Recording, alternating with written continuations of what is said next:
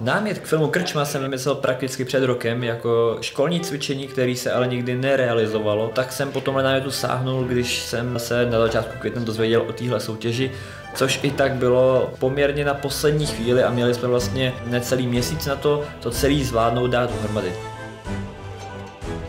Nemám pořád žádný zranění. Jestliže na to, v jaké fázi dnes jsme, tak je to docela úspěch. Když jsme měli hotový štáb a měli jsme i napsaný scénář, tak jsme začali logicky hledat, kdo by v tom mohl hrát. Tak jsme postupně začali oslovovat herce. Prvního jsme oslovili Václava Lišku, který se toho hned chytil, což je mladý, šikovný herec, se kterým jsem už párkrát spolupracoval. To je můj nejdelší film. Já točím reklamy a nejdelší reklama měla minutu 20. A tu překonáme asi o 53 vteřiny, takže děkuju a mám nový rekord. Do role mistra jsme potřebovali obsadit někoho staršího a tak jsme se zeptali Pavla Trávnička, jestli by o to neměl zájem. Pavel Trávniček je jeden z nejznámějších českých herců. Já bych vám chtěl všem ukázat, že jsem přišel o prst tady při tom natáčení a to vám ukážu, jak asi takhle to vypadá. Jo. Tak takhle to se mi stalo. Stop!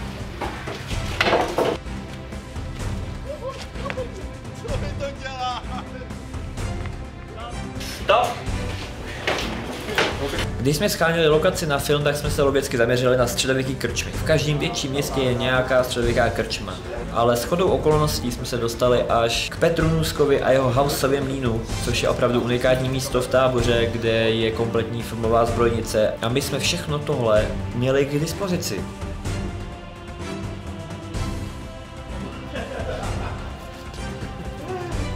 Na place jsme měli vlastně zvukaře a dva mikrofonisty, zabírali jsme paralelně vždycky minimálně na dvě tága, aby jsme měli jistotu, že zvuk opravdu zaznamenáme správně. Jelikož jsme používali mikrofony od Rode, na Rode se vždycky můžete spolehnout.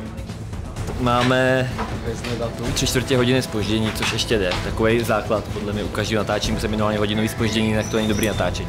Během natáčení se stalo spoustu vtipných, i když v tu chvíli to nebylo tolik vtipných situací, kdy například jeden z asistentů kamery zapálil nějakou chemikály, něco prostřed místnosti, aby jenom vzniknul dým, ale neodhad poměr a začoudil celou místnost. Větrali jsme tu místnost skoro hodinu, protože ta krčma byla uprostřed starého mlínem a tam nejsou okna.